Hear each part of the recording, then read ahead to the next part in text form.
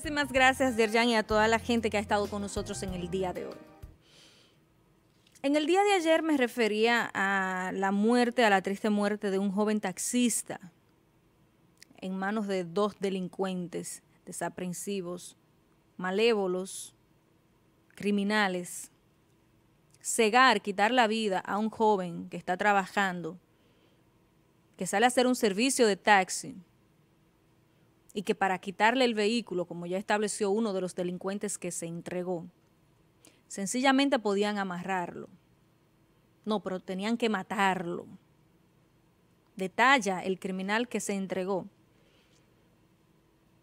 que fue su compañero que le dio con una, una piedra, una pedrada. Eso fue en el día de ayer que salen eh, más informaciones y que hablaba del mismo. Este otro joven que están viendo en pantalla, es otra muerte en manos de desaprensivos. Da mucha pena, da mucha tristeza y pesar ver cómo gente joven en manos de delincuentes, de la delincuencia, pierde. Gente que está trabajando de manera honesta, que está haciendo su labor, que busca mecanismos para generar eh, ingresos, generar recursos, mantener su familia, estudiar por la vía correcta. Cuando tú tienes y recibes como sociedad, que estas son las cosas que estamos observando, que está pasando, que jóvenes, muchachos muy jóvenes, están perdiendo sus vidas en manos de delincuentes, en un área de servicio, en un área laboral, como es la del área de los taxis, que hemos estado viendo cómo ha ido en aumento, y que a través de estas innovaciones de las plataformas digitales, Aparentemente se hace mucho más fácil que llamar a una telefónica, una central o una base de taxi. Algunas debilidades que presentan la misma, como esta nueva aplicación, la InDriver, que muchos jóvenes sencillamente la descargan, se afilian para poder dar servicios de taxi, donde aparentemente no se eh, obtiene un perfil del cliente a quien se le va a dar un servicio. Pero sí, esa persona que va a usar el servicio, que va a solicitar el taxi, sí tiene el perfil del taxista, placa, información, del vehículo, todo prácticamente. ¿Qué hacer ante esto? Más allá de procurar agarrar a estos delincuentes criminales. ¿Qué medidas de seguridad o de garantía se puede tener cuando tú estás a merced del que te quiere hacer algo, del que te quiere dañar, del que te quiere robar, del que te quiere atracar, porque cuando eres taxista y cuando eres taxista, a través de estas plataformas, tú estás a merced del que te escriba de un teléfono celular. Hay mucha más libertad hay mucha más facilidad que desde cualquier punto, sencillamente tú le dejas la aplicación y esa persona acuda a darte un servicio. Hemos visto cómo ha aumentado y cómo han estado jóvenes que están trabajando en esta área de servicios. Han estado perdiendo la vida en manos de delincuentes.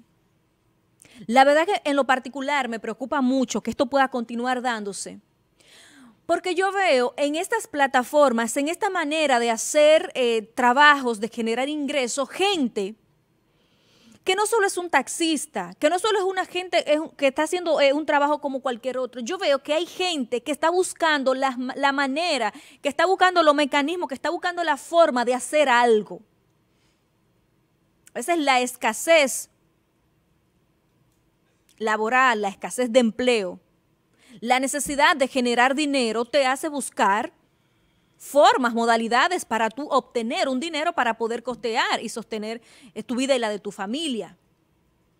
Y las facilidades que se obtienen a través de estos mecanismos de, digitales, de plataformas, hace que muchos muchachos jóvenes, estudiantes, a veces con familia, como ese jovencito que tenía dos semanas que se había casado, y este otro joven y otros tantos que hemos venido observando, buscan y ven a través de estos mecanismos de trabajo una fuente de ingreso. Pero estamos viendo que hay muy pocas garantías de seguridad cuando te pones a merced de gente que a través de un teléfono te solicita un servicio para llevarlo de un punto A a un punto B. Cuando te dejan en un lugar por allá, a través del GPS, de la ubicación que te va guiando el teléfono con un pasajero o dos pasajeros detrás, usted no sabe lo que le pueda pasar. Ver, escuchar, narrar a estos delincuentes decir cómo sucedieron las cosas. No, que no estaba planificado, que no fui yo, que fue mi compañero. O sea, como que cuando tú quitas, desapareces, cuando quitas del medio, cuando desapareces, cuando le cegas la vida a un ser humano, a un ciudadano, ellos lo narran como que fue siquiera un gato, porque también tiene el mismo valor, porque es una vida, es un ser vivo. Como que es un palo, ni un palo, porque también son seres vivos. Las plantas. O sea, como que es nada, como que no son nada, como que no hicieron nada. Que no dejan un dolor en la familia. Que no dejan un dolor en el sector, como están esas comunidades. Donde ven perder muchachos que están seriamente trabajando, haciendo una labor para poder sostenerse. Hablar de los niveles de inseguridad en todos los aspectos y enfocarlo en este sentido, que tengo dos días hablando de esto porque me preocupa muchísimo, porque así como fue ese muchacho de Jaina, como fue el joven que tiene 12 días de casados, que tenía, como fue otro joven también, por citar tres de los casos, de muchachos que no llegan a los 30 años de edad, puede pasarle a cualquier familiar Puede pasarle a cualquiera de nosotros de que estos muchachos que con la facilidad de acceso a comprarse un carrito y para poder pagar el mismo, para poder cubrir sus necesidades, entran a realizar estos tipos de trabajos, de servicios y que están a merced de los delincuentes. Entonces, con los niveles de inseguridad que en todos los sentidos nosotros tenemos, lamentablemente no podemos ver que hayan algunas medidas políticas de seguridad en ese sentido. Las plataformas digitales, en el caso del tema que se está dando a nivel nacional con empresas como Uber, de conformarse como empresas en la República Dominicana para poder dar los servicios de manera normal, pero que no tiene nada que ver, ni se trata por un asunto de seguridad, sino es un asunto de intereses entre las empresas de taxi, Antonio Marte, el sector turismo. Pero en estos acuerdos no se plantea o se exige a estas empresas digitales que se haga o que se tenga mayor garantía de quienes se afilian a sus plataformas de informaciones mucho más recabada de quién puede hacer uso como cliente de esas de esas aplicaciones. La verdad que no me gustaría continuar observando, continuar eh, mirando que sigan perdiendo vidas jóvenes que están trabajando a través de las plataformas digitales, quienes hacen uso de ellas, quienes hacen uso de ella para obtener un servicio a mucho menor precio del que ofrece una empresa de taxi y que han tenido un impacto a nivel de producción, porque hay cientos y cientos de jóvenes que tal vez estaban en su casa haciendo nada y que ingresan a la parte laboral por esta vía. Y además el ahorro que le genera a los ciudadanos, que no 50, 100, 200 pesos, depende de, de la vía, de la carrera, como le llaman. Entonces,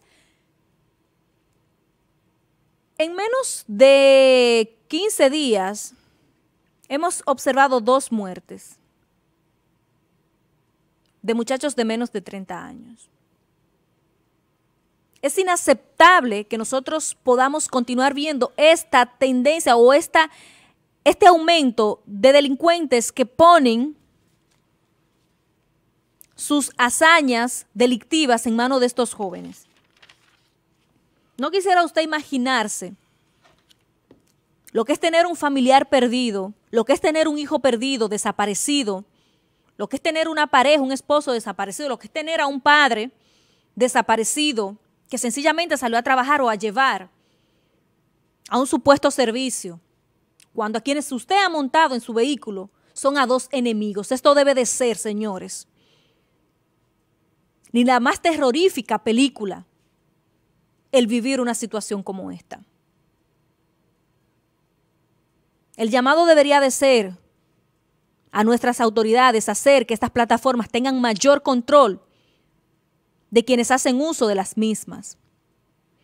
El llamado debe de ser a quienes, a los jóvenes, a los muchachos que hacen uso o se afilian a estas plataformas para generar ingresos, recursos, a que sean muy cautelosos a la hora de montar una u otra gente. Hay que escuchar los audios de ese joven. Cuando hablaba con sus compañeros, ellos le decían que no tomara la carrera, que no lo hiciera, y él estaba un tanto inseguro, pero quería hacerlo. Y pierde la vida. Esto es el joven de los 12 días de casado. Entonces, ante todo esto, tenemos una realidad que podría ir en aumento. Eh, escúchame, eh, Carolina, entonces, ¿esa carrera tenía algún nivel de, eh, peligro? Porque este de Santo Domingo hacia la Ensenada, Puerto Plata, será de un pueblo a otro, y se veía un tanto, él sospechaba desde el principio eran dos, eran dos. Entonces, hacer un tipo de servicio de esa distancia, el muchacho era nuevo en el área de, esos taxis, de ese, de ese, uso de esa plataforma, y los compañeros le advirtieron, quizás con mayor nivel de experiencia. Entonces, tú con la necesidad económica, recién casado, con muchas situaciones que resolver, tú lo tomas porque es tu trabajo. Tú no crees que te van a matar de una pedrada para quitarte tu vehículo que con esfuerzo y sacrificio y que buscas salir adelante. Entonces mi preocupación con este tema es que no nos gustaría ver, señores, que continúe en aumento la pérdida de vida de jóvenes en nuestro país en manos de delincuentes de esta forma. Gente que sencillamente está trabajando. Eso por un lado. Voy a, tomar, quería destacar, porque me parece de mucho más importancia y relevancia este tema, pero me voy a tomar tres minutos para tratar eh, lo acontecido en el día de ayer en San Francisco de Macorís. Y sería importante a la producción, los muchachos, eh, contactar a los convocantes a huelga para saber el nivel de resultados, de logros obtenidos con la misma. Y no lo hago con ninguna intención en el fondo de, querer em, disminuir los posibles resultados que ustedes perciban como organizadores de la misma. Pero sí me gustaría saber qué ha generado en términos de acuerdos post-huelga, de objetivos logrados post-huelga de beneficios para San Francisco de Macorís post-huelga. Continuará el gobierno con su plan nacional de asfaltado, de, de aceras, de contenes, de arreglos de los registros cloacales, algunas comunidades, como decía el señor Olmedo Cavaca. Es importante escuchar al colectivo y podríamos, eh, si la producción no lo hace, eh, llamarlos mañana en vivo, llamar al señor Mercado, llamar a Felipe, porque en un momento determinado en la entrevista que ellos decían que si no se lograba nada con la huelga, si no se llevaba a ningún acuerdo, San Francisco de Macorís iba a tener paros sistemáticos.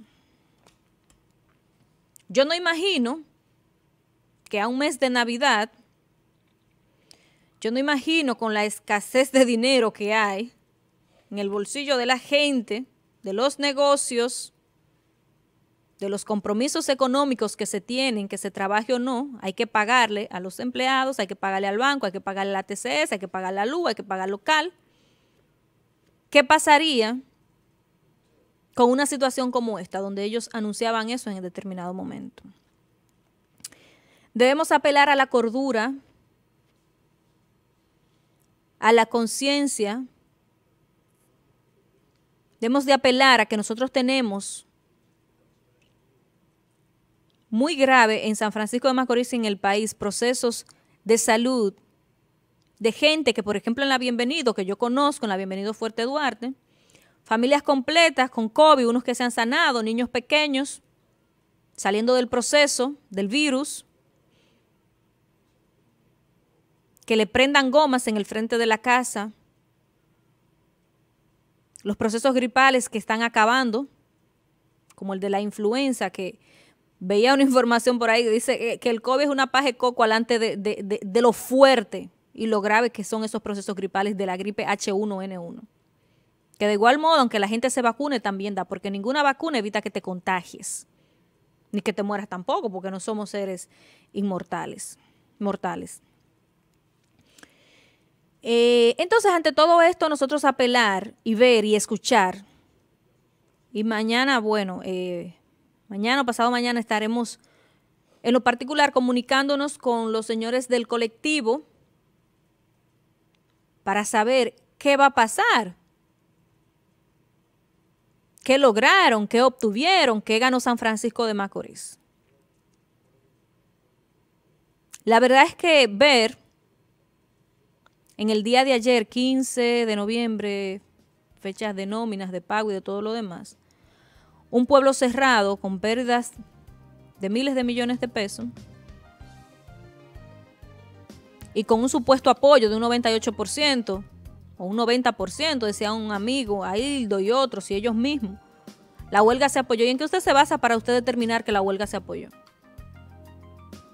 Porque usted sabe que si abre el negocio, van encapuchados y te dicen que cierren. Y que estás a merced de los delincuentes. Y que no puedes salir a la calle porque están las gomas y la basura. Y están los tiroteos que se arman en las diferentes comunidades. Entonces no me digas que hubo un apoyo. O sea, ¿en qué te basas para eso? Nosotros esperamos que por lo menos a la fecha y al mes de diciembre San Francisco de Macorís el comercio, las familias y las comunidades puedan tener un descanso de que no se prendan más gomas. Muchísimas gracias.